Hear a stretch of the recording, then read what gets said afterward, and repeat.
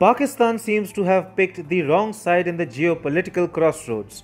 Pakistan has had a fallout with its Islamic godfathers, Saudi Arabia and the UAE, as these two undisputed leaders of the Muslim world have refused to back Islamabad over its failing Kashmir agenda.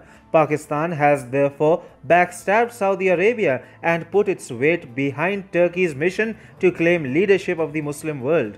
But now, having lost the Arab godfathers, Imran Khan is betting heavily on a communist China.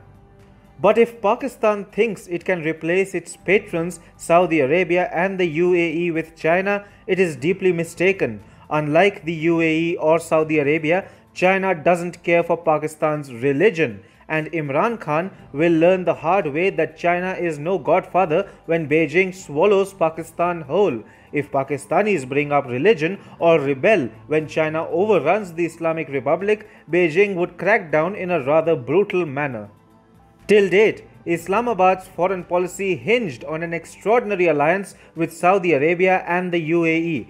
The two biggest Arab powers who kept Pakistan's troubled economy afloat, issuing selfless bailouts to rescue Pakistan whenever its economy was about to crash. Whenever Pakistan refused to secure bailouts from the International Monetary Fund or its iron brother China, it relied upon the Arab godfathers.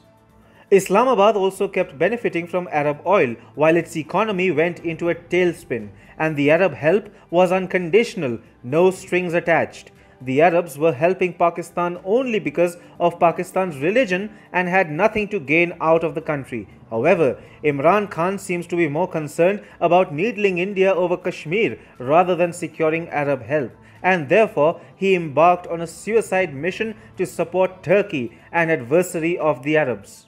The fact that Pakistan is pivoting towards China and away from its Islamic godfathers became clear when Pakistan's overzealous foreign minister Shah Mahmood Qureshi suffered an epic meltdown and issued an ultimatum to Saudi Arabia. He said that Pakistan would have to look for other options if the Organization of Islamic Countries or OIC doesn't come forward in support of its stance on Kashmir, inadvertently threatening Saudi Arabia, which leads the chair in OIC. Soon after Qureshi's threats, Pakistan was staring at a new crisis as Riyadh ended a loan and associated oil facility to Pakistan. Islamabad had to repay a Saudi loan of 1 billion US dollars due to Qureshi's desperation. So, now what? Turkey, Pakistan's new Islamic godfather, is itself in the midst of an economic crisis and cannot fend for itself, leave alone rescue anyone. So, Imran Khan has only China to turn to. Pakistan's Foreign Minister Shah Mahmood Qureshi was rushed to Beijing for an overnight visit on Thursday. As Imran Khan puts it, China is our only friend which has remained politically steadfast with Pakistan during good and bad times. Therefore, Pakistan has no one to rely upon now. The Arabs have snubbed it, the US has hammered it with aid cuts no less, and now the only option left is China. And this is where Pakistan's tragedy really starts. China is not a friend, but a plain and simple usurper which wouldn't spare Islamabad either. Chinese investments will come with a lot of strings attached. Chinese influence in Pakistan is already way too high for Islamabad's sovereign interests. But now we are talking about actual physical colonization of the Islamic Republic as it falls into a Chinese debt trap. Pakistan is already reeling under Chinese debt with the China-Pakistan Economic Corridor, a component of Xi Jinping's Belt and Road Initiative, inflating with every passing day. The project originally valued at 46 billion US dollars, has had painful cost overruns for Pakistan, estimated to have inflated the total cost to a whopping 87 billion US dollars.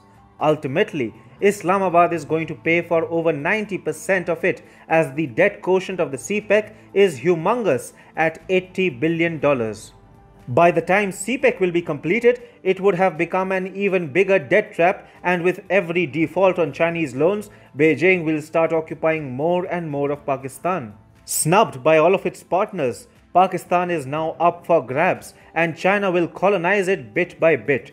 China will usurp Pakistani land and take over the Islamic Republic's government-owned companies. Islamabad's leftover sovereignty will be the ultimate casualty.